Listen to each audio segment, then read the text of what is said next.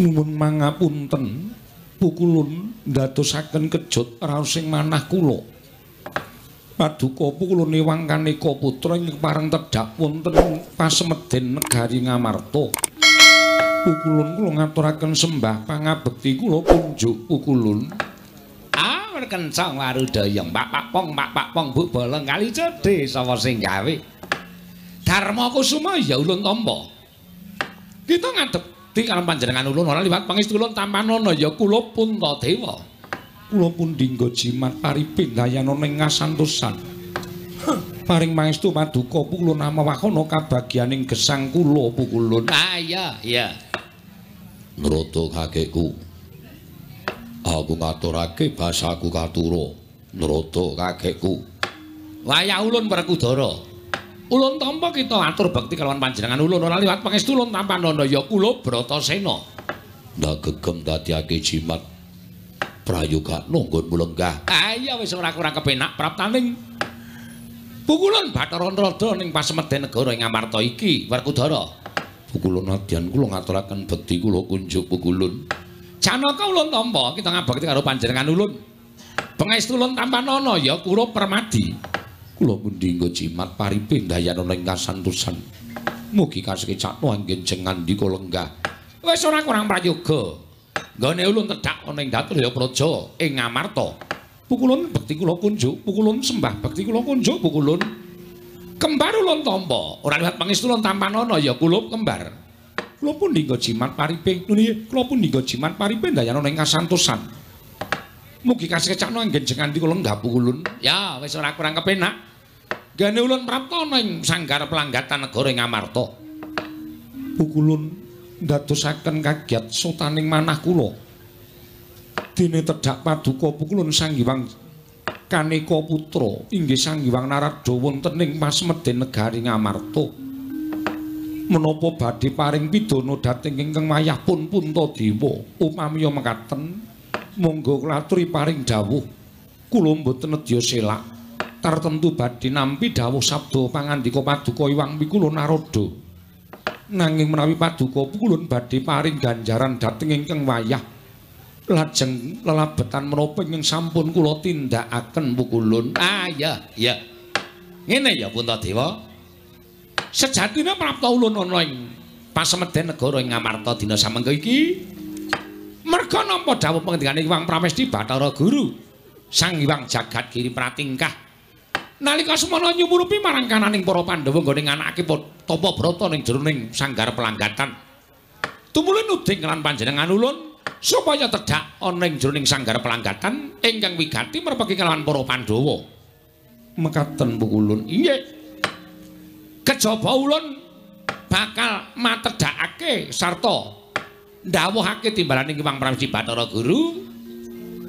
Sejatine ulun bakal nyuwun priksa apa ta ingkang dadi wigatine dina para Pandhawa mapan ning telenging sanggar pelanggatan.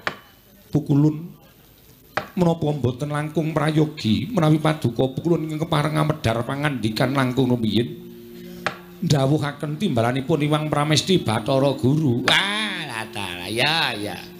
Ditakoni durung mangsulan malah genti takon. Mboten napa kula badhe nglangkungi pangwaosing kadiwatan nanging tata cara ning ngarcapada kedah mekaten menika pukulun Ah, latala. Ya ya ya. Ora dadi ngopo Puntadewa? Yen pancen iki dadi karep kita, ulun bakal waloka. Sejatine prapta ulun ana ing pasemeden negara ing Amarta dina samengko iki, wigati matedhake timbalaning Hyang Pramesti Bathara Guru. Yen to kita Puntadewa tinimbalan sowan ana ing kayiwangan. Dina iki uga bareng lan sak laku ulun. mekaten pukulun ya menawi tetelo mekaten dosa menapa ing badhe kula sandang menawi kula wantun nyelaki dawuhipun Hyang Pikulun Manikmaya monggo pukulun menawi Hyang Pikulun Bathara Gurami jiswanipun ingkang wayah kula mboten badhe selak. Kula namung ndederek. Dawuh pangandika maduka Sang Hyang Jagat Girinata lumantar paduka pukulun Sang Hyang Narada. Kita sago inggih. Mboten sagah sabab menapa pukulun? Ah, yen ngono. Ora usah kangelan ulun bakal mboyong kalawan jeneng kita. Kita tumuli tata-tata. tata-tata ingkang wigati. Ayo tak kanthi munggah ning kayangan.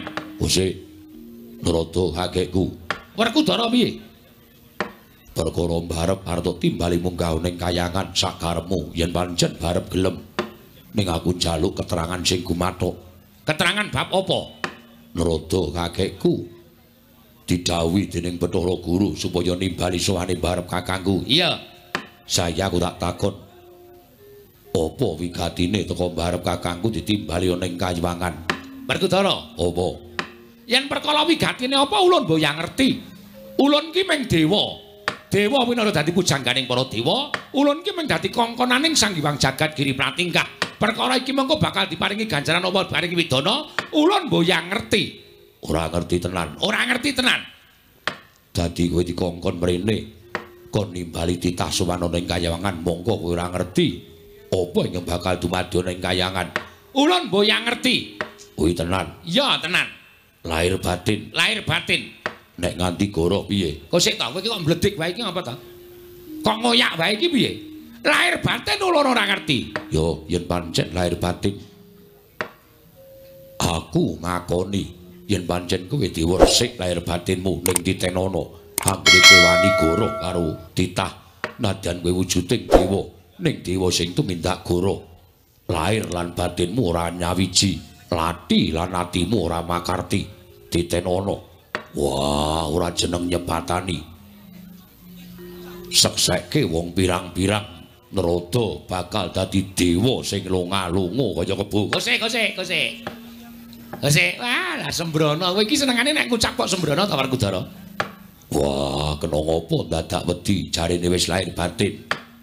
Aku iki rasa omong kaya ngono kuwi nek kowe omong kaya ngono kuwi aku dadi tratapan. Yen kowe wedi mara coba saiki kowe kandha wigatine apa? Punta dewa ditimbali ning kayangan. Sejatine ulun ngerti. Ning mengulun wedi bakal ngandhakake merga wedi walating Sang Hyang Jagat Giri Pratingkah. Kowe jujur kok wedi. Ora ana bab sing jujur kok iso malati ora eneng. Yen kowe jujur ora bakal kewalat. Yen kowe goroh, kowe ora kuwalat karo Bathara Guru, ning kuwalat karo ucapmu dhewe. Iya iya aku tak omong wis ta. Ora dadak dioyak-oyak kaya ngono kuwi. Wigatine apa? Wigatine Puntadewa iki bakal dipatrapi paukuman. Wah, dipatrapi paukuman. Iya. Sebabe apa dipatrapi paukuman? Lupute Puntadewa kakangku menyang endi? Ah, nek lupute kuwi aku ora ngerti. Ora ngerti apa goro? Goroh. Eh, anu ora ngerti. Wah, Anu ora ngerti. ora ngerti apa goro? Anu ora ngerti. Goro ora ngerti? Goroh. Menurut saiki prasaja sebabe apa kok ditimbali, kok diluputke? Sebabe Puntadewa siji wani nganggo asma Puntadewa, angka loro Puntadewa wani ngagem gegelung keling. Ora aku sakit tak takon. Apa sebabe kok diluputke nganggo jeneng Puntadewa? Wangsulana pitakonku. Punta kuwi luhur dewa kuwi wis ngarani tegese keluhurane Puntadewa kuwi ngungkuli marang keluhuraning para Jawata. Mula banjur diluputake dening Iwang Pilun Jagat Giri Pratingkah. Merga asmaning Puntadewa kuwi ngungkuli luhuring Jagat Girinata. Saya aku tak takon. Puntadewa kakangku nganggo gelung keling kok diluputke mergane apa? Mergane ngene Werkudara. Sing nganggo gelung keling ki meng para brahmana ingkang wis buntas kawruhe. Ingkang paribasane uripe para brahmana mau sak traju sak tatak karo para Jawata. Kaya ta Resi Kanwa, Resi Rama Parasu, Begawan Bisma lan sak piturute kuwi diwenangake nganggo gelung keling. Ning Puntadewa iki dudu brahmana. Nalendra kok nganggo gelung keling. Kuwi diluputake dening para Jawata. Dadi nggone nganggo gelung keling diluputake. Iya, Saya aku tak takon karo kowe. takon apa meneh? Dewa nggone ngluputake Puntadewa kok lagi saiki. Ora kawit biyen nalika Puntadewa isih cilik, monggo kelingan. Sing gelung keling kuwi dudu sapa-sapa ning Babu Kunti, ibuku ya ibune Barep kakangku. Tegese le nganggo gelung keling kuwi wit bo- bocah wis nganggo gelung keling. Ning kena ngopo ning ngluputke kok lagi saiki? Dewa dek biyen ewuh apa? Ling ngluputke nganggo gelung keling. lagi saiki turta maneh Puntadewa nganggo jeneng kuwi sing maringi ya Babu Kunti sing maringi Bapa Pandu. Kena ngapa ning luputke ya lagi saiki? Ora biyen-biyen diluputke dewane dawa apa? Ayo mbuh ulun ya ngerti kuwi. Ayo. Awis jeneng kaya ngono kuwi wis dadi watake to Werkudara. Wong sengit ki ora kurang penacat wong seneng ki ora kurang pengalem ngono kuwi wis dadi tembung Jawa sing wis wantah diucapake dening sapa wae. Ning bab perkara iki ulun ming dadi dewa kongkonan supaya Puntadewa ditimbali munggah ning kayiwangan yen ngono saiki yen Puntadewa ditimbali munggah ning kayangan. Aku sing ora ngentuke lho dasarmu apa ora ngentuke mergane Bathara Guru ora tedhak dhewe. Ana ing negara Ngamarta mung kongkonan yen pancen Bathara Guru arep ngluputi Puntadewa kudune rawuh dhewe ning negara Ngamarta ora kongkonan kowe. Kok sik kok kowe iki? Aku ki dewa iki kowe kowe. Hm arep kaya ngene iki pujangganing dewa. Yo aku ngerti kowe pujangganing dewa.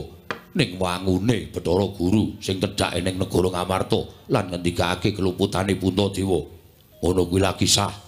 Lah terus karemu piye supaya kabeh mau adil supaya adil gandeng Bathara Guru lan nimbali Puntadewa nganggo wakil. Mula Puntadewa ora budal ning kayangan. Lho kok ora budal? Sing budal wakile. Wakile Puntadewa sapa? Aku. Aku sing dadi wakile. Mboten namung Kakang Mas Werkudara. Kula saged dados wakil. Mboten namung Kakang Mas Werkudara. Tuwin Kakang Mas Panengah kula saged dados wakil. Iya kula ugi saged dados wakil pukulun. Rungokno kupingmu kadange papat kabeh dadi wakil. Apa jeneng ora keluwihan wong siji diwakili wong papat. Kuwi kanugrahan tumraping para Jawata mula barep kakangku. Kaya aja tindak nandi-nandi. Kowe lenggah penak ning negara Ngamarta. Wah perkara ne. Bathara Guru sing ngluputke karo Puntadewa kakangku. Aku sing bakal nanggung. Janaka karo aku karo kembar sing bakal munggah ning kayangan. Nah aku ngerti kok Werkudara aku ngerti. Niatmu ki aku wis paham tandani aku wis dong. Puntadewa ki wong ra duwe omong. Puntadewa ki wong ora kokean omong. Mula kowe banjur dadi wakil. Merga aku ngerti kabeh apa dadi pandangan iki wong. Pikir jagat garip-garip pating kamangka mesti bakal tok wangsuli. Ra ngono to kuwi? Kuwi perkaraku dudu perkaramu. Merga srana aku munggah ana ing kayangan siji dadi wakile Puntadewa loro kabeh panjangkaku bakal kelakon. Penjangkamu apa? Kuwi perkaraku ora perlu ngerti. Wah bocah kok ngayali ra jamak-jamak ta iki? Wah lah piye? Puntadewa piye? Kula namung ndederek kersanipun ngadang-kadang kula pukulun menawi Werkudara Janaka tuwin kembar. Samangke saged dados wakilipun ingkang wayah kula namung jumurung ndederek. Wah iki ya pinter saiki Wah, diwakilke adi-adine mergo dhek ora bakal iso wangsulan. Aputa Dewa ki dikon ngapa-apa anane ya mung sendika dawuh, dikon apa-apa anane sendika dawuh. Sing kok kian omong ki Werkudara kuwi. Bocahe dlogak-dlogak kaya ngono omong pintere ora jamak. wah ora sakokan gunem tanpa guna ayo nek menyang ya menyang nek ora ya ora nek aku ra entuk makili Puntadewa malah babar pisan kabeh ora mangkat Puntadewa ora ning kayangan aku sakadang papat ora ning kayangan kowe bali ning kayangan ditakokke Bathara Guru ora nggawa Pandhawa kowe ditukani karo Bathara Guru dipecat li dadi dewa Wes, lambene kok senengane nyemelangi. Werkudara, iye yen pancen wis niat kaya mengkono, ulun mung kari manut. Yen pancen kita niat minangka wakiling Puntadewa, Janaka kembar uga niat dadi wakiling Puntadewa. Iya, ora apa-apa, Ngger, ora beber. Tak larapake warnasane Ki Wang Pikul Jatimurti Brahmara remangos pramya ngambrang kati karunaning kaswase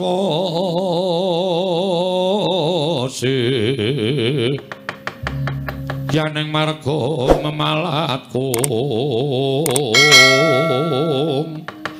ing kong menawi kula mekaten kula kantun derek sumangga kersa paduka pukulun Nah, ya Werkudara nek pancen wis niat ayo. Budal marang kayangan ning tak jaluk kanthi laku panglimun ana aja nganti kawanguran dening para putra lancur Pandhawa lan para nayaka negara Ngamarta.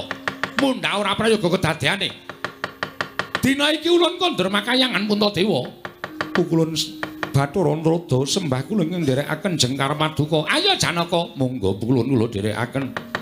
Barep kakangku aku njaluk pamit. Dimas kadangipun ngakang sing ati-ati ya Yayi. Koko Prabu kula nyuwun pamit. Iya ya Janaka. Sing ati-ati muga-muga kelakon penjangkaning para Pandhawa. Koko Prabu kula nyuwun pamit, Koko Prabu kula nyuwun pamit. Iya ya kembar. Ndak balang puja sesanti muga-muga nirbaya nirwikara. ora nemulan swijapa padha lumaku budal marang kayangan. Wis ya Puntadewa ulun kondur makayangan pukulun sembah kula ingkang nderekaken jengkar paduka Iwang Adi pukulun.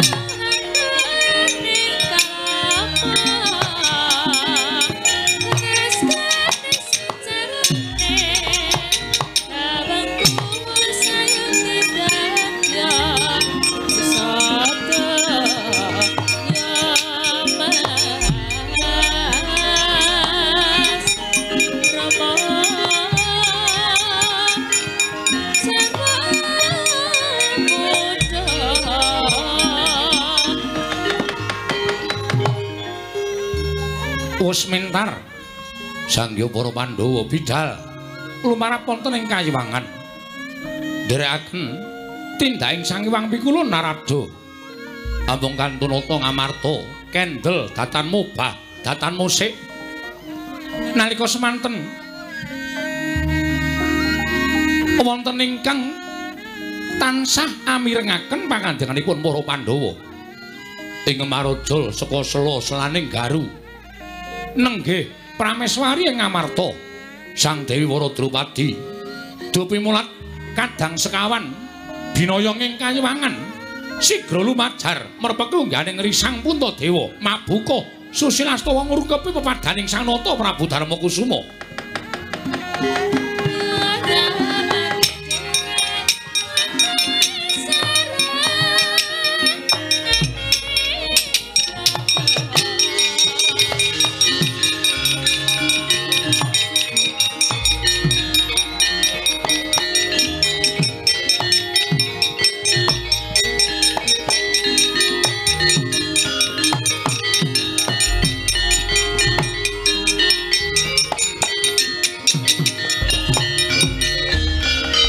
Panudya yutama ngambar arum.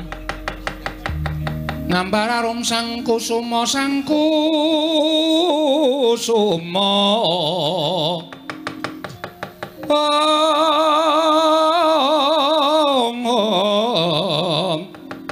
ngambar arum sang kusuma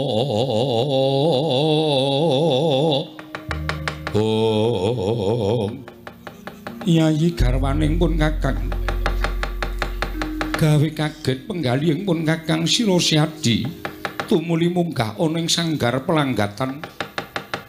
Malah tumuli ngrukepi pepadaning pun kakang Yayi ana wigati apa? Mara gage matura.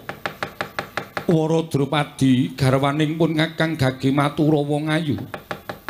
Sewu-sewu kalepatanipun ingkang rayi tadah wadana sinuwun menawi kula kadak wilepat dene kula mirengaken menapa ing sampun kelampah wonten ing telenging sanggar pamujan.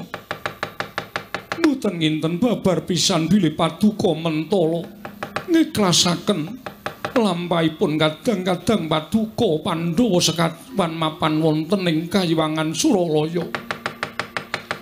Monggo nyatanipun ingkang katimbalan sowan paduka Gusti kula ingkang sinuwun. Nanging gandeng ageng sih tresnanipun kadang padang paduka. Teka tumuli kadang-kadang paduka sagah minangka dados wakil jengandika sinuwun Prabu Puntadewa. Sinuwun menapa paduka mboten kemutan. Bilih paduka lenggah dampar keprabun negari Ngamarta menika krana Anggenipun kadang kula pun Dimas Werkudara bebasan banting raga budidaya supados sak mangke Pandhawa saged mukti ngawibawa Nyakrawati mbau denduk nyuwun pangapunten mboten nama kula badhe ngungkit dhateng kejadening lelampan namung nyatanipun bebasanipun paduka menika namung kantun nglenggahi klasa gumelar. Wonten ingkang yasa negari menika kadang kula panenggak tuwin kadang kula panengah nanging sabab menapa dene paduka mentala nyumurupi kasangsaranipun kadang paduka piyambak lajeng kula nuwun sewu penggalih paduka menika kados pundi sinuwun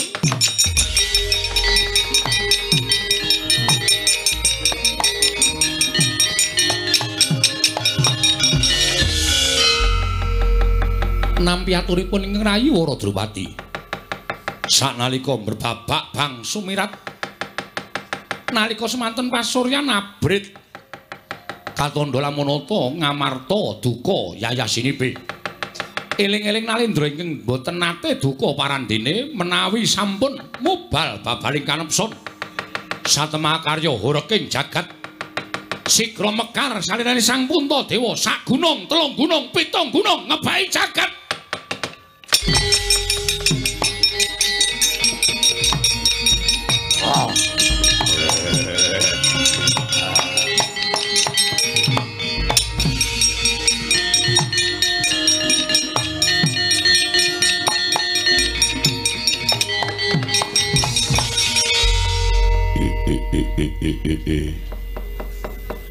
Drupadi garwaku wong ayu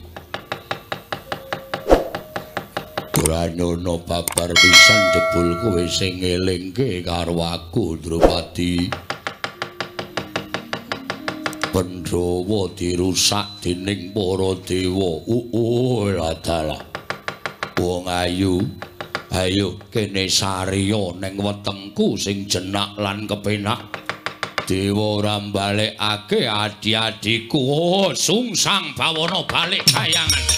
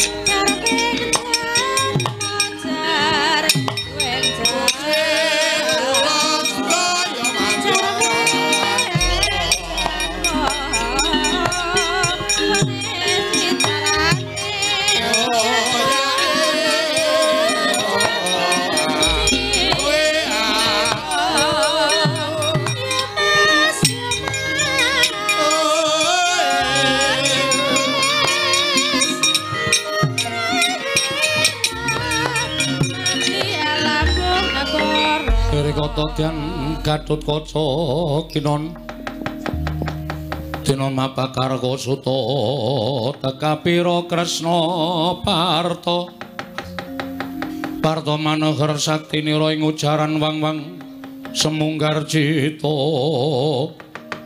Oh ana apa yai Pangaraos kula boten sekeca. Panji kula sengaja kula boten wangsul dhateng Pringgondani Krana sawetawis wekdal para punden Pandhawa mapan wonten telenging sanggar pelanggatan monggo mboten wonten inggih dipun keparengaken anyaket dhateng papan lenggahipun para Pandhawa. Mila lajeng tambuh-tambuh ora sing manah kula menapa ing katindaken dening para Pandhawa. Dimas pun Kakang lan Siadi kuwi mung minangka putra. Apa ing katindakake dening para Pandhawa yen pancen Kanjeng Wa Darma Kusuma ora keparengake lancur-lancur Pandhawa padha mangerteni. Aja pisan-pisan Siadi lan pun Kakang wani Cumalena mlebu jroning sanggar pas meden suci, mengko mundhak malah nampa duka lan nampa dosa saka punden Pandhawa. Dinteni wae, Kang. Aku percaya pepunden Pandhawa ki nek mlebu ning sanggar pelanggatan mesti ana wigati sing siningit. Ya mung anak-anak ora dikeparengake ngerti. Mula Kakang ora sah kidho penggalihe. Disabarke sawetara. monggo nek pancen genepe nganti sak candra para Pandhawa ora metu saka sanggar pelanggatan. Ora metu saka sanggar pamelengan nek pancen Kakang Antarja Kakang Garukaca ora wani mlebu ning sanggar pelanggatan, aku sing mlebu ning sanggar pelanggatan. Aku tak nyuwun mriksa keparenge Wadarma Kusuma karo bapak karo mak cilik Janaka karepe piye, kersane piye kok ora kersa metu saka sanggar pelanggatan. Apa Dimas ora wedi karo panjenengane Kanjeng Darma Kusuma.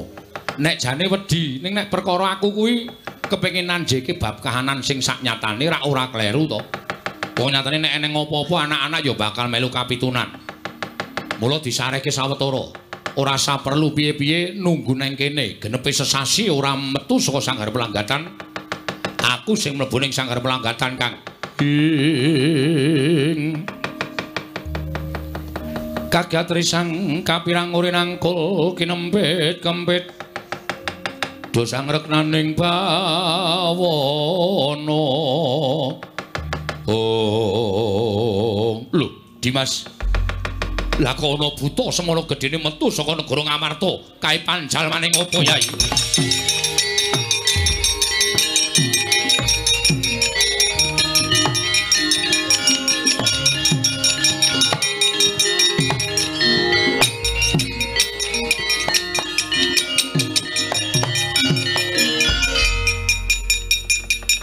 Yaksa ingkang ageng semantenipun medal saking negari Ngamarta. Iya, Dimas. Kula kinten inggih napa menika ingkang badhe damel risak negari Ngamarta. Malah saking panyokra bawanipun ingkang rayi, Mas. Pandhawa tartentu kenging menapa-menapa saking pakardinipun yaksa menika. Kula aturi lenggah sekeca, Mas.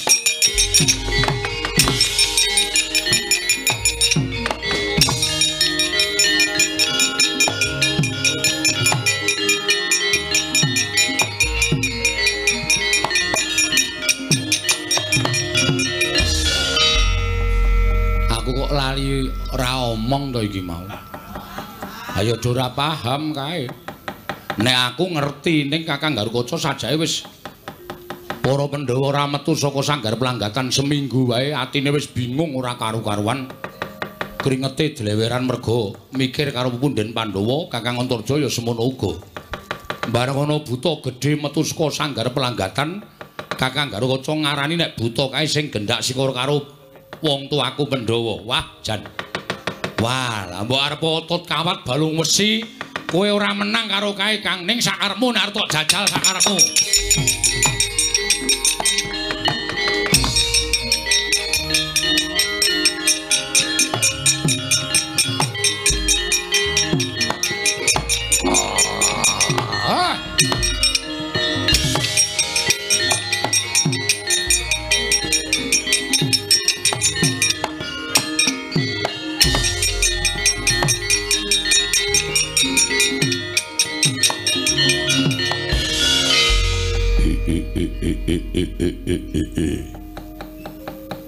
Sopo iki?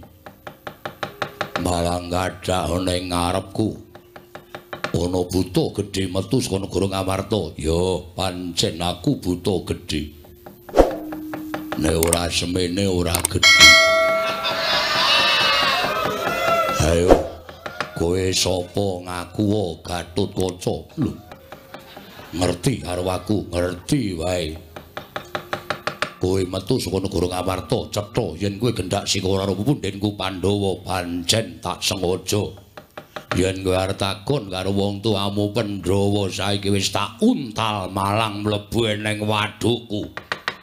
Yen pancen kowe kepengin tak untal moro tak babarke pisan potol dasmu apa tanganmu cukup? Kowe arep nguntir sirahku sing gedene semene aja sumbar Ayo ketokno kasudebian Waji Narantaka Aji Braja Denta Braja Musti. Aku ora bakal mundur sejangka iki marganing patimu Maraja Banen Gatotkaca.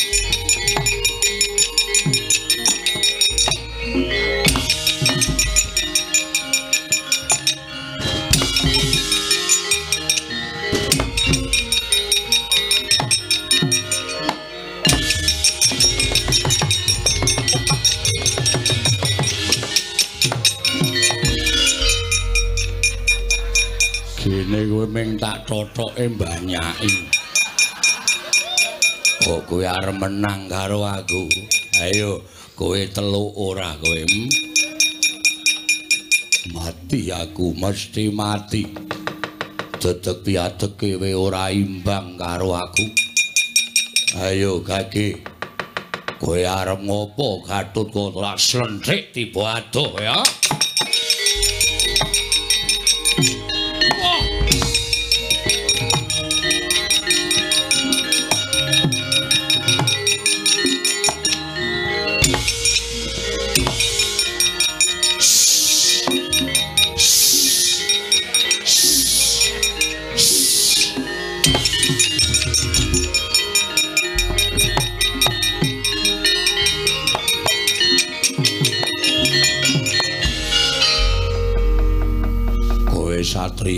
Sing seneng orek-orek tembok iki kowe kok.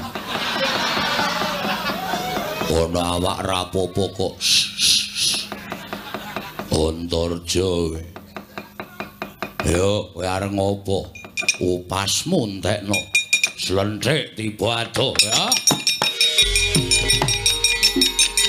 Wah!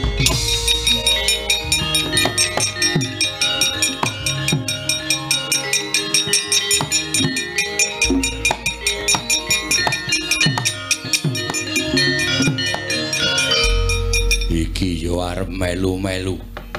Wani karo aku. Ayo maju. o. Nek aku maju sing kiper sapa? Ayo.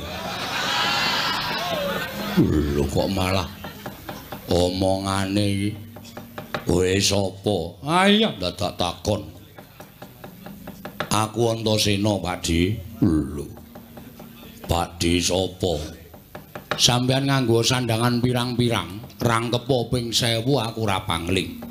Nek kakangku karo kocok kakang Antarja kae mesti ora ngerti mergo kae wonge ora tau nganggo petungan ming ngagan. Wekasan nuruti karo karep. Iya. Pak Di Puntadewa to kowe? Ngerti, ngerti wae.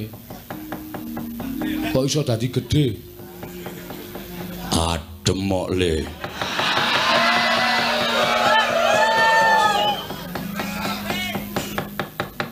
Iso dadi semono? Iya. Mergane apa? Ora usah dadak takon iki perkarane wong tuwa. Karepmu piye? Padhe arep tindak ngendi? Aku arep lunga saka negara Ngamarta. Tindak ngendi? Kowe ora perlu ngerti. Mung kakang-kakangmu ae lumpukno mrene kandhanono. Ya, kandhanane aja kuwatir. Kang, ngono apa Dimas?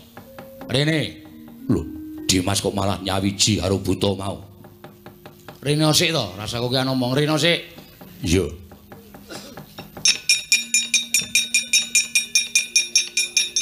Apa Dimas? Is, lungguh ngisor. Lho. Lungguh ngisor piye? Kewarat apa ora kowe? Lungguh ngisor. Nah, tangane ngapurancang. Iya, Dik. Maju ngono kuwi. Oh iya. Lungguh ngisor. Iya, Dimas. Dimas kok malah dadi siji karo buta sing mangan para Pandhawa. Sing mangan para Pandhawa sapa? Buta iki mau tak takoni mangan para Pandhawa. Buta iki ra doyan iwak. Apa iya? Heeh, iki kowe duwe darah tinggi ya ta buta? Ora. Ora kok. Kang, sawang sing permana. Aja sembrono, mula sok meneki aja nggunakake okol ning nggunakake akal. Ampo dikaya ngapa sing jeneng okol iki ala karo akal. Ngono Dimas. Heeh, malah di sampeyan ki satriya kedunungan pirang-pirang wahyu senopati, wahyu prawiranirat, wahyu sak piturute kok ora iso nggunakake permana jati. Dimatke iki sapa? Kok Jurarto salahke buta metu saka negara Ngamarta mangan para Pandhawa. Mati dening aku. Ayo kalah kowe mungsuh semene getangane gedene iki bandi. Kuwi. Telapakane wis sak sirahmu kok. Ngantem kowe pisan modar. Sopo Dimas aku durung ngerti. Kakang Antaja ora ngerti. Ora ngerti Dimas. Iki Siwa Darma Kusuma sing mekal sarirane merga mbok menawa kagol kogelan penggalihe. Aduh, nyuwun pangapunten. Aduh, nyuwun pangapunten. Wa.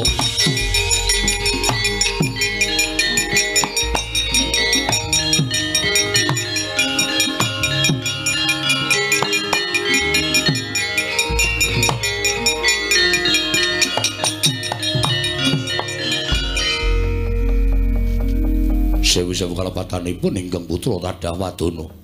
Sewu-sewu kalepatanipun ingkang putra Tadhawadana wa. Ora dadi ngopo. Ya mong aku eling karo kowe ya ngger cah bagus. Ngrampungi saking perkara.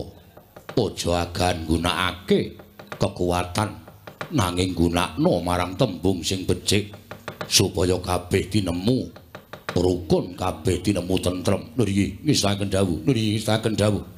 Wis, aku titip negara Ngamarta. Wa Prabu badhe tindak dhateng pundi? Wa Prabu badhe tindak dhateng pundi? Perkara iki bocah-bocah ora sah padha ngerti. Iki perkaraning wong tuwa. Antasena negara Ngamarta tunggunen aku tak neruske laku. Kok sik mbok nek entuk aku tak ngerti Pak Dhear tindak ngendi? Ora sah melu-melu. Iki perkaraku reksanen Ngamarta jana kang padha gawe rusak Antasena.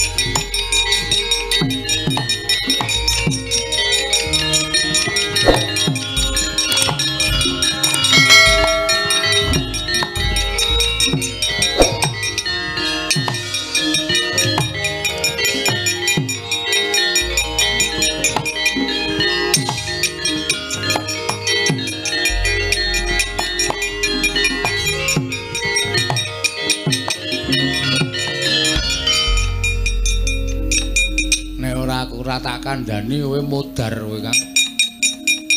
Aku iki senengane ya aneh-aneh. Ora nggunakake nganggo netra batin ning mung nuruti karo nepsu. Ayo sentek-entekane kaya ngono kuwi. Mung aku gumun Dimas, gumun apa? Wah Prabu jebul nek duka medeni. Ah, mulane aja sok ngino karo wong sing ringkih, aja sok ngece karo wong sing ming klemak-klemek. Nek wis nesu tenan lho kaya ngopo ae. Oh Prabu Darma Kusuma iki ora tananate duka, ora nate nesu. Ning barang nesu sampeyan wis weruh dhewe to. Kudine semono kae. Iya Dimas. Ha iya, Njur saiki awake dhewe piye? semingkir. Lho kok semikir? Iki nggone arep nggo limbukan. Oh iya Dimas.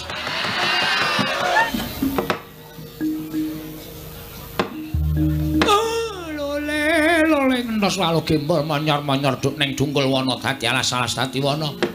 Lha nuwun sewu lho, Nger. Mboten ateges ingkang Bapak ing Sukalima menika nambuhi dhateng perkawis menika babar pisan mboten. Namung sejatosipun kula namung badhe nyuwun priksa. Sawetawis wekdal jengkandika anak Prabu Dirodara menika mapan wonten ing sanggar pelanggatan. Menika mengko suraos ingkang kados pundi keparenga ambabarana ingkang Bapak ing Sukalima, Nger. Nggih, nggih anak Prabu. Ingkang bapa ing kepatihan semanten ugi. Kula dereng saged andungkap kepareng paduka. Mugi sak mangke kepareng hamba barana ingkang sejati dhateng ing bapa ing kepatihan. Nggih. Bawa Durna. Wonten dawuh Paman Hari Sengguni. kula wonten timbalan nggih anak Prabu. Ugi andados ing kawuningan. Anggen kula mapan wonten ing sanggar pelanggatan menika istunipun boten kepengin tuwin kula boten badhe betahaken menapa-menapa. Namung estunipun meri raos ing manah kula. Meri perkawis menapa? Kabar ingkang sumebar para Pandhawa mapan wonten ing sanggar pelanggatan. Monggo gadhahi ancas gegayuhan nerja nyuwargaaken dhateng tiyang sepuhipun inggih menika Paman Prabu Pandu Diwayana. Mila boten lega raos ing manah kula menawi kula tumunten nderek mapan wonten ing sanggar pelanggatan nulat dhateng menapa ingkang tindaken dening para Pandhawa. Oh, syukur-syukur, Ger, syukur. Menawi paduka tumunten nulat dhateng menapa ing dipun tindakaken dening kadang-kadang paduka para Pandhawa. Menika ateges ngandika anak Prabu Dirudra menika nyengkuyung dhateng menapa sedyanipun para Pandhawa anggenipun kepengin nyuwargakaken dhateng tiyang supayipun inggih menika pun Prabu Pandu Dewayana. Menika sae, Ger, menika sae. Tegesipun paduka menika uyung-uyung nyengkuyung sedyanipun kadang paduka para Pandhawa. Sing kandha sinten? Lho. Kenging menapa paduka paring dawuh mekaten? Kula mboten badhe nyengkuyung sedyanipun para Pandhawa. Kula mboten badhe ngrojongi menawi dados gegayuhanipun para Pandhawa, nanging anggen kula mapan wonten ing sanggar pelanggatan menika meminta dhateng panguwasaning dewa supados sak mangke dewa paring wewengan dhateng pun Duryudana. Duwen dewa nampi dhateng menapa ing sampun kula suwun Pandhawa kacupeta gesangipun wonten ing alam padang Pandhawa kedah ngatang-atang dados batang menika ingkang kula suwun dhateng para Jawata. Lho, nuwun sewu kok ngaten to, Ger? Sing andika lajeng tumuntun nyuwun dhateng sangganing para Jawata supados paring srana pejahipun para Pandhawa. Lakar mengkaten ingkang kula gayuh menika ingkang kula jangka. Nuwun sewu lho, Ger. Lajeng lepatipun menapa para Pandhawa teka paduka lajeng kepengin jang engka pejahipun para Pandhawa. Menapa Pandhawa menika nggadhahi kalepatan dhateng paduka anak Prabu Duryudana?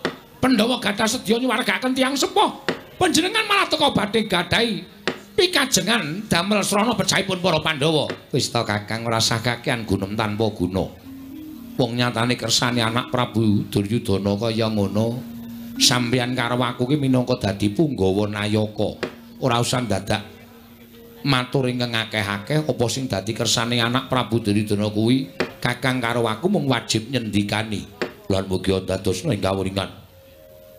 Menapa ing dados gegayuhan kula menika sejatosipun namung nenggo dhateng tumapaking wanci. Lho, leripun menapa paduka paring dawuh mekaten? Krana Kanjeng Hyang Pandya Betari Durga wonten ing dandang mangure sampun nyarujuki tuwin sampun budidaya supados sak mangke sampun ngantos Pandhawa menika lono gesang wonten ing alam padang Bapa. Ing Sringastina Maha Prabu Duryudana alon nang andika Ong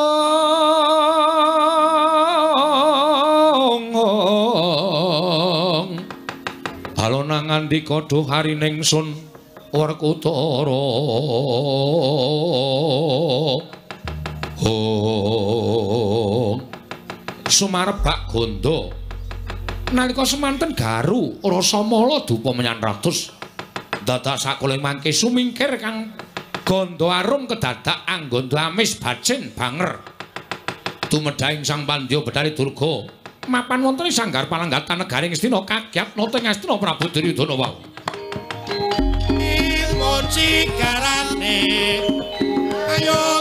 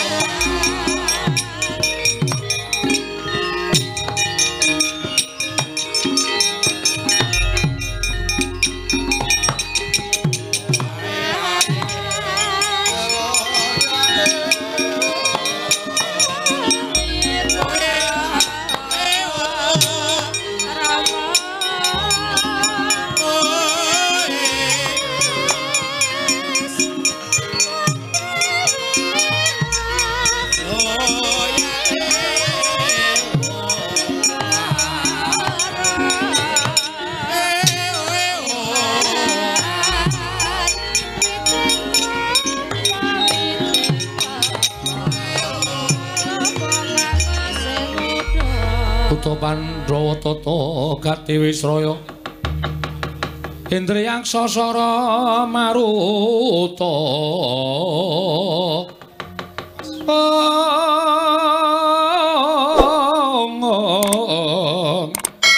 Samirana lan marayang wisikan magulingan limo Oh Eyang Pandya Betari. Kula ngaturaken sembah pangabekti kula kunjuk Eyang Batobat obat Duryudana tak tampa gawe gedhe ning ati ora lan pangestu ning pone yang tamanana ya nggir. Kula pundi kok jimat Dayanana ing kasantosan. Ingkang sekawit Kanjeng Eyang paring dawuh. Bilih badhe angudaneni menawi dados pamintanipun ingkang wayahipun Duryudana kula nyuwun dawuh paduka Kanjeng Eyang kepareng hamba Barana kados pundi pawartosipun. Menapa Pandhawa tasih gesang menapa sampun pejah Duryudana wonten timbalan matani Pandhawa kuwi ora gampang. Nanging kanthi sarana pambudidaya kabeh bisa kaleksanan. lho niki Ngerti ya? Yen to dina samengko Pandhawa bakal tekaning pati nggir Duryudana. liripun paduka paring dawuh ing mekaten dasaripun menapa Aku mun jatur karang Sang Hyang Pikulun Jatimurti, ya Sang Hyang Pikulun Bathara Guru. Supaya gawe pati ning para Pandhawa, apa kang dadi ature yang wing dandang mangure tinampa dening Sang Hyang Jagadgiri Pratingkah. Samengko Puntadewa lan sakadang kadyane tinimbalan swanana ing kayiwangan wigatine bakal kacemplungake ning kawah Candra Dimuka. Batobat, tobat. Kabar iki mengkene mau muga-muga dadi bunga atimu Duryudana jagat dewa Bathara Hyang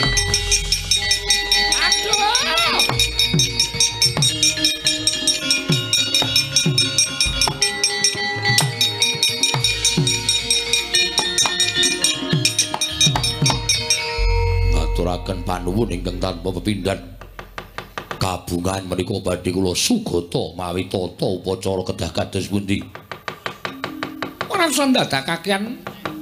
Sing tok jangka ya Duryudana ingkang wigati apa kang dadi pamintamu? Wis ndak lulusake niki nanging kowe kudu eling. Kowe kudu eling Duryudana. Nalika semana kowe nyuwun rawane yangmu Mandya Betari Durga supaya gawe srana pati ning para Pandhawa wis aku wis nyarujuki nanging nalika semana kowe uga wis nyarujuki.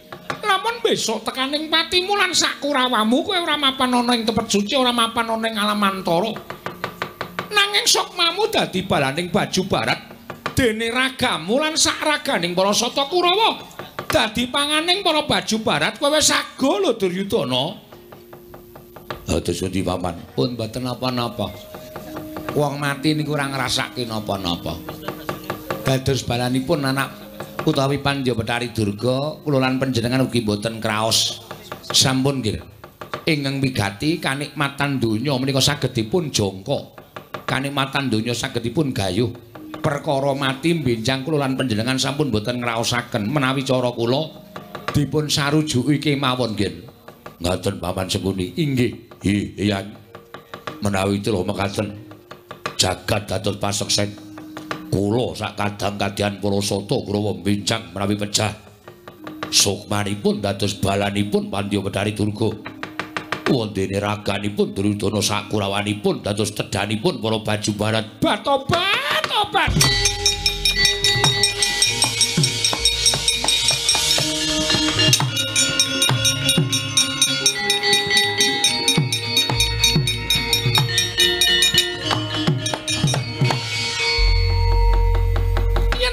kaya mengkono bumi langit wis nekseni lho kumrusak ning antariksa kae sayekti dududan. Sinemeni? Nanging ae para-para kang padha nekseni ucape Duryudana. Hi boten badhe silak. Kula putuku. Wonten dawuh. Dina samengko ngamarta nedeng komplang inggih mula ketapno para wadyabala Kurawa supaya ngejeki negara ing Ngamarta. Tak bantu saka wadyabala dandang mangure yen Ngastina lan Ngamarta wis dadi siji sing nggadhampar Prabu Duryudana upama Pandhawa isih urip ora bakal duwe. Papan ora bakal duwe derajat pangkat Duryudana? Awan wonten dawuh.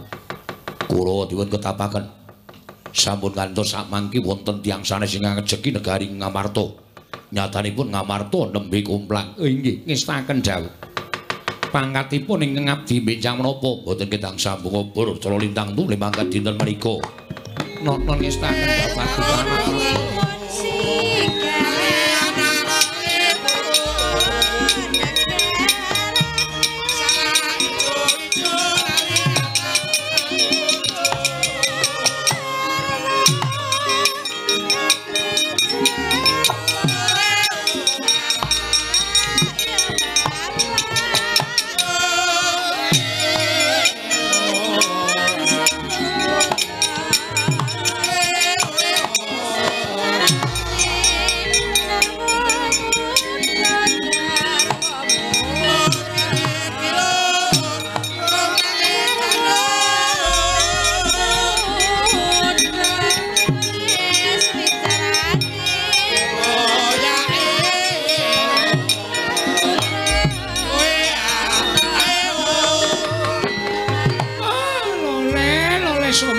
sumorante. Awela, awela. Ah, lah kok pancen wis ora iso didandani kelakuane wong Astina.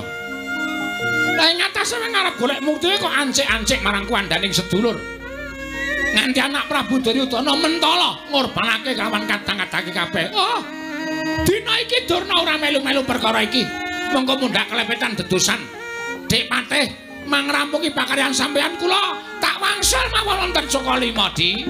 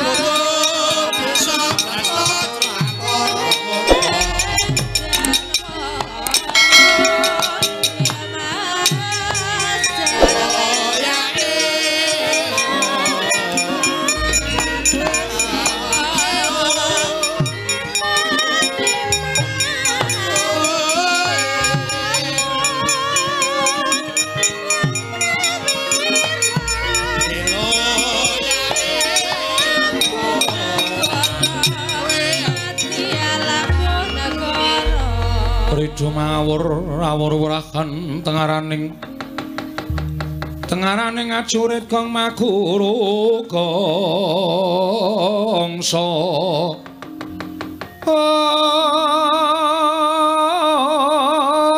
ong. Dekawira Kresna Parta maneher saktinira Om Ribun man ngawi sangganing para sata Kurawa ingkang putra Banjar Jungut buntur sasana sajake enten wigati mulya ambabarana ingkang sejati. Paman Kartomarma Cumadung dawuh. Paman Swatama Cumadung dawuh. Aja mbok kendhoni nggonmu dandan nanging malah kepara kenceng ana dur. Lho pripun? Penjangkane anak Prabu Duryudana kasembadan. Kasembadan sing pripun nggone kepengin gawe pati ning para Pandhawa dibiyantu dening Sang Pandya Betari Durga ing Danbang Mangore. Wah. Terus iki Pandhawa tinimbalan sowan ana ing Kayiwangan. Nggih, bakal dicemplungake ning Kawah Candra Dimuka. Dipesthekke wayen to Pandhawa tekaning pati. Terus Mula kowe didhawuhi supaya lumarep ning negara Ngamarta merga Ngamarta dina iki komplang. Tegese ora ana ingkang ngrenggani. Kemaring anak Prabu Duryudana Ngamarta didadekke siji karo negara Ngastina. Aja nganti ana wong liya ingkang ngukup negara Ngamarta dur. Wah, dalah. Nggih. Nek pun cetha ora eneng wonge. Menyang endi meneh tibaning negara Ngamarta kejawi namung wonten negari Ngastina. Lah, Kang Mulasaka kuwi mangkat aja kaya bocah cilik. Nggih, ngestaken dawuh. Ayo, entuk papan meneh, entuk panggonan meneh. Seneng-seneng rupian-rupian. Suka-suka parisuka. Pandhawa tekaning pati nang kayangan kowe karo aku ngukup negara Ngamarta. Monggo Kakang Mas kula dherekaken. Pakdi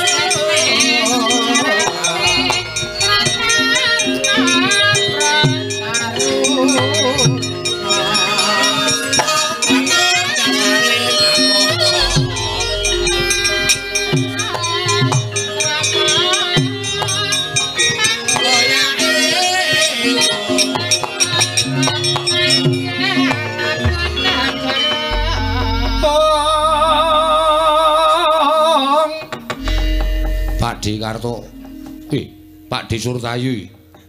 Yo, Antasena. Walah meh persis.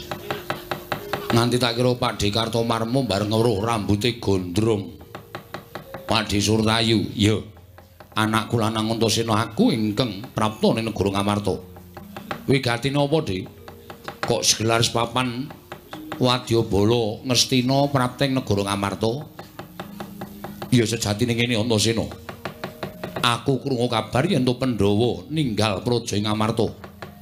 Muluk keparenging Kanjeng Koko Prabu Duryudana, Kurawa kene nyelametake negara Ngamarta. Kose nyelametke tegese piye kuwi?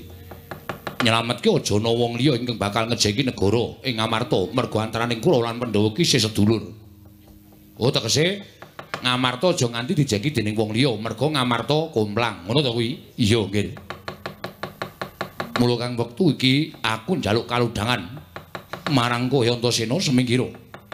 Para Kurawa bakal mapan ana negara Ngamarta.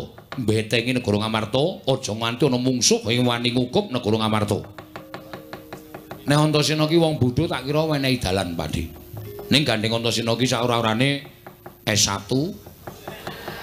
Mula nyun ngapura akabeh ngendikane Pakdi kuwi tak pitung. Tok pitung tegese piye? Aku wis hafal watak wantuning para Kurawa. Aku wis ngerti pambeganing para Kurawa. Mula nek nganti Pakde sak kurawane iki arep mlebu negara Ngamarta, padha karo aku masrahke Ngamarta iki marang para sata Kurawa.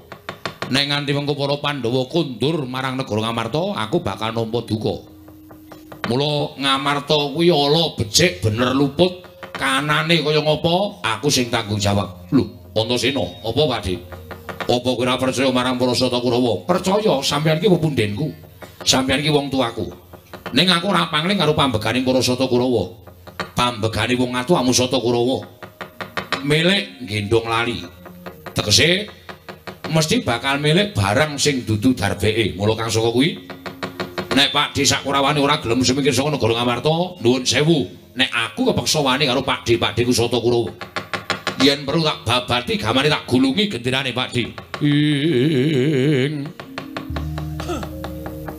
Kagiat risang kapirang urin angkul kinempit kempit Dosang reknaning bawono Oh, wah pancen bocah ora kena diapusi. Ya, bloko suta blak kutang terus terang. Pancen niate Kurawa prapten negara Ngamarta mung kepengin ngukup negara Ngamarta. Tegese dadekke siji karo negara Ngastina. Mula rasakokan gunung tanpa guna. Yen kowe dadi pepalang, tegese kudu mati Antasena. Yen Antasena tekaning pati, Ngamarta dadi kukupane negara Ngastina. Lah, rak tenan to, mau-mau omong ngono rasakokan omongan de. Nek ngono Pak De sakrawane kudu tak singkirke. wani karo wong tuamu sing tawedene apamu leno pangenamu tebak dadamune marganing patimu sing leno prakteng lalis Pak Desurtayu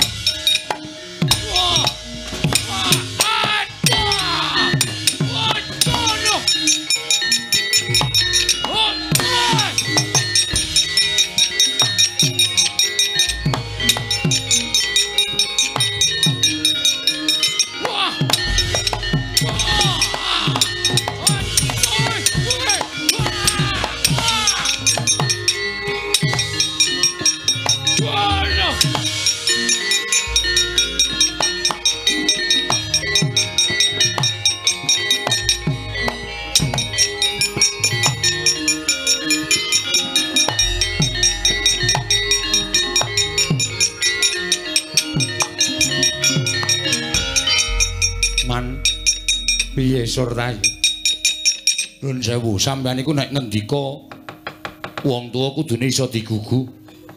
Lha kok ora iso digugu mergane? Sampeyan mau ngandhake nek Ngamarta komplang. Pandhawa sami teng kayangan.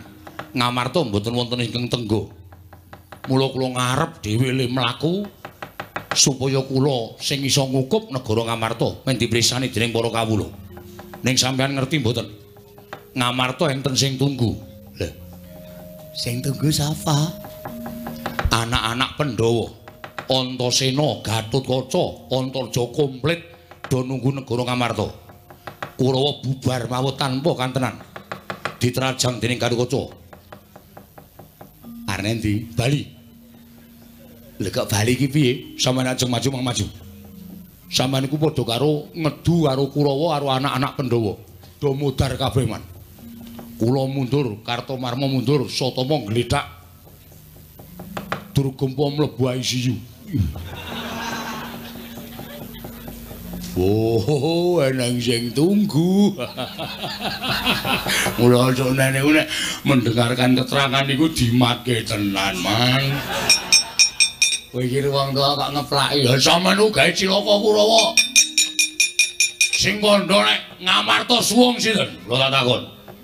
Pandya Betari Durgalan. Mula saniki niku kabar ngapusi. Kabar sing ora nyata. Nek cara saniki bocah ngarani hoax. Sing jegok sapa kuwi? Sing jegok jengkulmu melocot ora. Niku kabar ora nyata. Kabar ora nyata ora dinyatake terus dilakoni. Lah entek-entane kaya ngene iki. Surtayu babak bundas, Kartomarma babak bundas. Asatama tatu. Kurawa liyane bubar golek papan pendelikan. Pun pripun nek ngeten iki? Sertayu Kartomarma Asatama mundur sing tak jagake Ngestina iki duwe bantrongan. Sinten? Lho kowe. Kowe iki werku darani Ngestina le. Nek nganti kowe kalah karo anak-anak Pandhawa, nek cara aku isin, Oh, kula kok biasa. Ora isin. Mboten, ora maju. Ora. Mane modar. Eh, wong urip niku ya digawe kepenak man. Maju temu Antasena, modar malahin kula. Wis, Ning wani to. nek wani niku wani. Nek Antasena niku pancen wong ampuh tenan man. Wong pengpengan tenan. Ning wani. Ayo ndelok-ndelok. Delok-delok piye? Oh, ndelok-ndelok. Sampeyan kudune mikir. Wong tuwa niku nganggo mikir, perang niku entuke napa. Kula niku padine anak-anak Pandhawa. Kok kula marahi perang anak-anak Pandhawa niku napa mboten disin-isin karo wong kono-kono. Mbok go mikir, Mas. Ning iki anak Prabu Duryudana ngersake Ngamarta didekke siji karo Ngastina. Oh, deke siji mung kari dawuhe penak wae. Ning sing wani Rantasena niku sapa? Lho, kowe mau muni wani. Ora wau. Mau karo saiki iki rungono gatalan dina mestine isih wani. Oh, wong niku ya suwe-suwe iso ora wani, suwe-suwe iso ora wani. Wani to. Oh, delok-delok ya. Oh, mutar berani aku. Ning wani. Wah. Muni wani ngono to. Kok aku sing nantang. Muni wani kok aku sing nantang. Oh, delok-delok. Wani to, Do. Wani. Wani tenan, wani tenan. Tak tantangke aja kuwatir. Eh, antase. Lah iki cahe. Eh, iki lho wange. Mang tandangi dhewe. Eh, ora urusan. Iki nek ora mlayu ngrekoso aku aduh. Arep ndi? Arep merana. Rene dhisik. Aku ki mbahmu lho Antasena ora bertulisi mbah. Ning rene sik. Rene sik tenguk sing apik. Lungguh sing apik. Iya, iya. Sing ngetapke Kurawa arep mlengket ngamarta sapa? Hmm? Mbah, eh. Sing ngandhake sing ngepyake Kurawa tekan ngamarta sapa? Aku. Sing akon anak Prabu Duryudana. Tak takon sebabe apa kok sampeyan ngetapke Kurawa? Pandhawa lunga. Lungane nendi? Ora ngerti. Ngerti apa ora ngerti? Ora ngerti. Ngerti apa ora ngerti? Ora ngerti. Ora ngerti tenan? Ora ngerti. Nek ora ngerti ya wis. Terus saiki aku tak takon karo kowe. Takon apa? Janjane Kurawa iki niate piye to? Kok pendak-pendak Pandhawa ora tau marahi Kurawa, kok Kurawa mesti marahi Pandhawa iki janjane karepe piye? Anak Prabu Duryudana ngersake Pandhawa mati. Pandhawa mati. Heeh. Lah salahi Pandhawa? Ora salah. Oh, ngono. Heeh. Ya wis, matur nuwun ya, Mbah. Pada-pada. Wis, aku tak rono ya. Rono nendi? Rono. Kena rono ning aku njaluk karo kowe. Saka kene tekan kono nyanyi. Nyanyi apa aku ki wis tuwa lho Antasena. Ora macem-macem ah. Isin aku nyanyi, nyanyi apa tak kepruk watu sirahmu semene wae. Ning sak banter-banterku, nek nganti ora gelem nyanyi kepruk watu sirahmu. Apa ya? ah, mentak-mentak. Ya.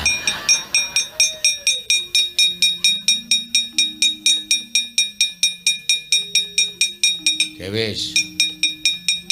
Sik to ngeleng-eleng cakepane. Nek nganti kleru tak tuthuk. Ha iya, kesaka kene tekan kono joget nyanyi nek mandek buandem watu kowe. Masa ora entuk mandek? Ora entuk kudu nyanyi terus. Mentak. Mentok, mentak. Tak kandani. Agene iso. Oh, tak tutuk watu kowe. Iya, iya, iya, iya. Iya, iya. Galak ira jamak jamak madhep rono gawe wis ngetok bandem ora rono. Mentak. Mentak tangane joget. Tahakan. Karo mlaku. Mangrepamu. Aku isin ya ndasene. Ora kena isin. Syarat kok tekan kono anggere mandek tak ajar kowe, tak bandem watu. Wak bandemi watu kowe banget. Kok kowe sedia watune apa? Eh, aku bar ngerit kok. Mentak. Mentak. Nah, takan. Bokonge bokonge. Ndase ndase ndasmu kowe. Mengerut. Terus terus ngri mandek tak bandem. Angis sini sini. Ambek aja nelek. Eh, ngetok ana kandang wae enak ngarep ora nyambut gawe man sampeyan wong tuwa napa bocah pateh kok mentak-mentok. Isen kula. Tekan golongan niki niku kudu teng Astina lho. Niku teng Amarta mentak-mentok sawene dhewe. Mbok mikir. Mentak. Mentak. Tak kandhane. Man. Mbok gagas to. Sampe niku umure pinten? Tua. Ah tua kok nyanyi mentok-mentok. Sampe niku patih nek wong nomor loro teng Astina mentak-mentok sawene dhewe ora. Isen kula nek kaya ngoten niku. Mentak. Mentok. Man, sampeyan kena deleke ora? Mentok. Oh, sedan kabeh.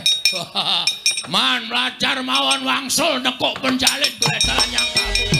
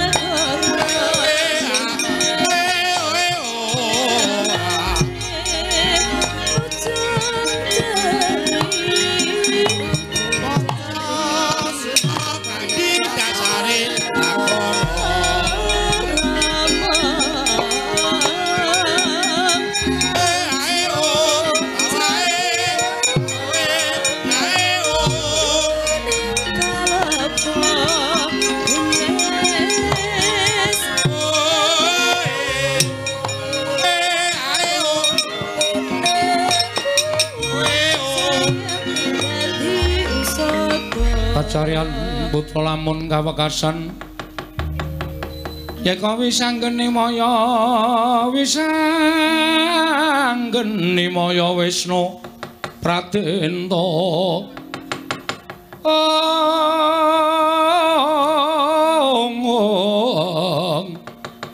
Wisanggeni maya Wisnu Pradenta Ong Kang Iya Mas Nyedhaki negara Ngamarta. Iya. Mula aku wis matur karo Kakang Garkaca to. Sak tindake Siwa Ngamarta kowe karo aku dititipi negara. Iya. Aja nganti lirwa ya Kang. Ya Dimas. Ora bakal aku bakal bali marang Pringgondani yen durung ana keterangan kundure besok apa. Pepunden Pandhawa bagus. Aku ya ngono. ora bakal ninggal negara Ngamarta yen durung keterangan kundure sok kapan pepundhenku para Pandhawa. Ayo Kang, dirondani meneh negara Ngamarta sing bibit aja nganti ana ing Marorja saka selaning Garu. Mengko mundhak kowe karo aku nampa dukaning pepunden Pandhawa. Ayo Dimas Antasena. Aku tak ngrondani lumantar dari kantara. Yo, sewang-sewangan Kakang Garukaca.